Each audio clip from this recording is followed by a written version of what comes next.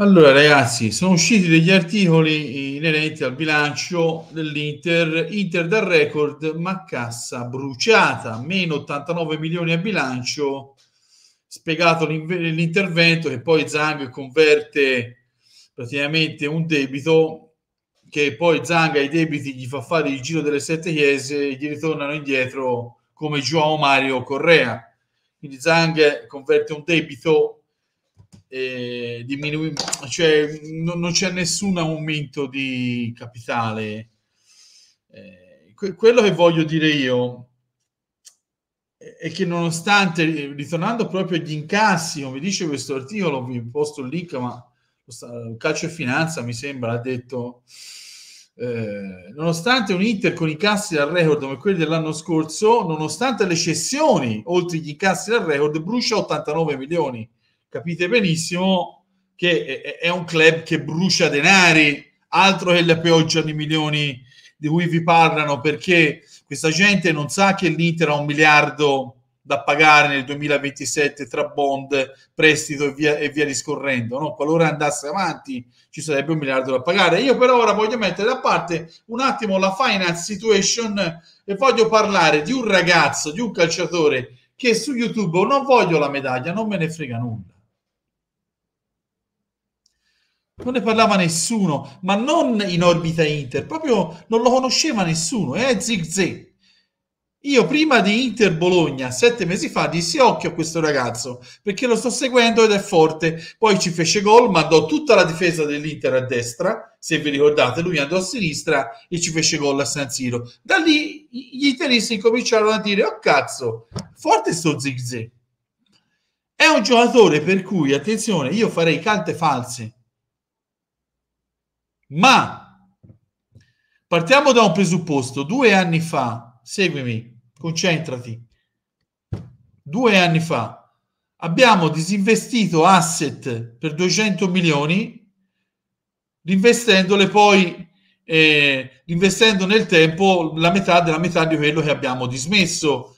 Poi eh, L'anno di Lukaku abbiamo disinvestito per 40 milioni investendone 22 per un anno di noleggio di Lukaku rimanendo con il cerino in mano. L'unico mercato un attimino potabile è stato quello dell'anno scorso, nonostante che no, non siamo riusciti a, ad assemblare una rosa di attaccanti, diciamo, competitiva perché abbiamo avuto solo due attaccanti, ma l'unico mercato eh, diciamo, dove hai preso Pavard, dove hai preso Frattesi, è stato quello dell'anno scorso perché eh, c'erano gli incassi straordinari della Champions e perché poi hai abbassato il tetto ingaggio con Onana, con Brozovic, con Lukaku, con Dzeko, più le vendite dei giocatori. Ecco perché hai potuto fare due acquisti, perché hai diminuito il tetto ingaggio, avevi incassi straordinari e hai venduto i giocatori. E nonostante tutto, nonostante tu abbia fatto questo,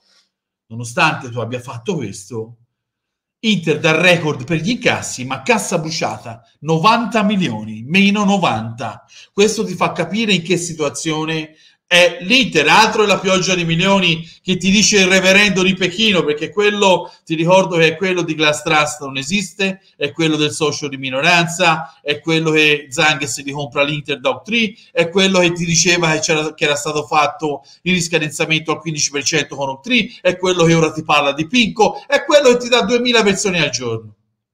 Il reverendo di Pechino.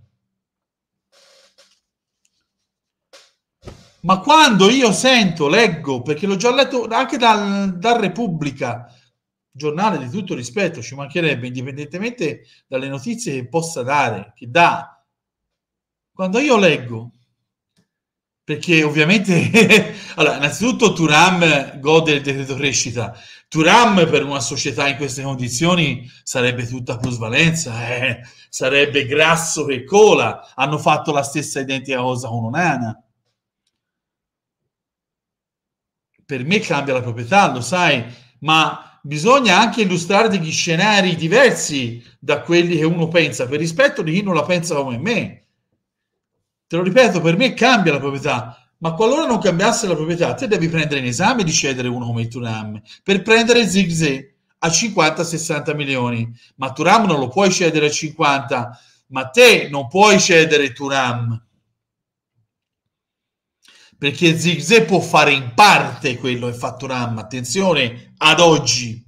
E io sto parlando di un giocatore che con tutto rispetto conosco meglio di tutti voi perché io Zigze lo seguivo da due anni. Per quello quando sette mesi fa su YouTube prima di Inter Bologna dissi occhio a Zigze che nessuno conosceva perché già lo seguivo da un anno grazie a un mio amico e grazie anche a Michele della chat di Esonerati che anche lui lo conosceva Zigze cedere Turam sarebbe una puttanata galattica una puttanata galattica perché è un giocatore completo è un giocatore che fa assist, che crea superiorità numerica, che ti fa densità a centrocampo, che ti va a destra, ti va a sinistra, ti fa 15 gol all'anno e 10 assist non lo ritrovi da nessuna parte un giocatore come Turam che guadagna quella cifra con il decreto crescita.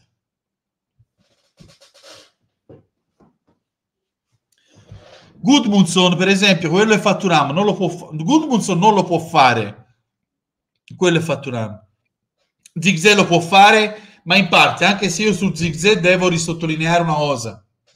Raramente ho visto un centravanti di quell'età ripulire tutti i palloni sporchi che gli capitano, perché a lui gli puoi dare le palle in tutte le maniere, lui riesce sempre a ripulire la palla e a far ripartire l'azione. E va anche a concludere. Zigzag dove deve migliorare, sotto porta.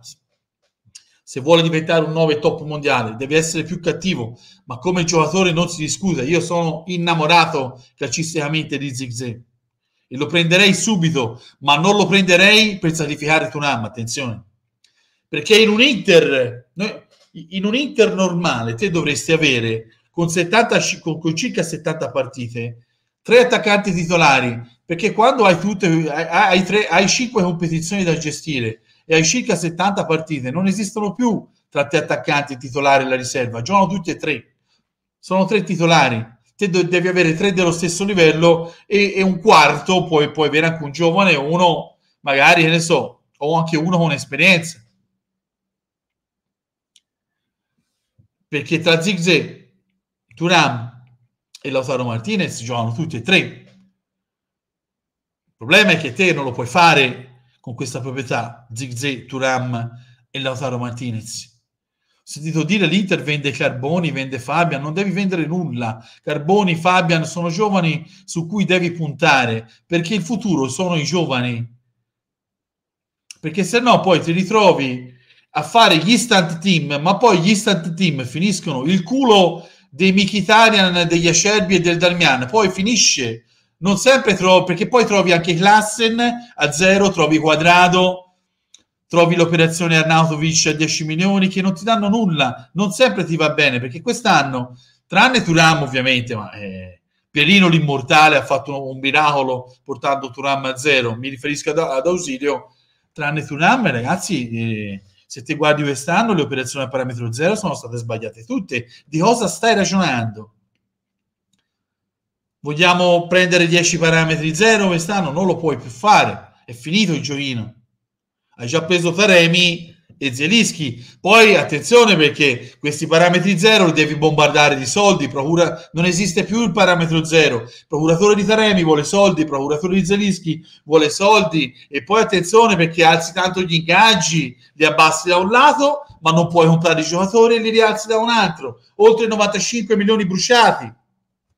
Capito che ti voglio dire? Io ve lo dico subito. Patti chiari, amicizie lunghe, amicizia lunga di amicizia, amicizia lunga. Guarda, mi, mi, mi, mi sale il sangue al cervello. Giù le mani, te lo dico una volta sola, giù le mani da Ticus Turam. In qualsiasi caso, se c'è un giocatore che non deve essere ceduto, è proprio lui, perché Turam sono due giocatori in uno, come lo era Hakimi, che anche lì hai dovuto venderlo perché tutta sta pioggia di milioni che ti è capitata addosso ha dovuto far sì che tu lo dovessi vendere. Ciao Inter.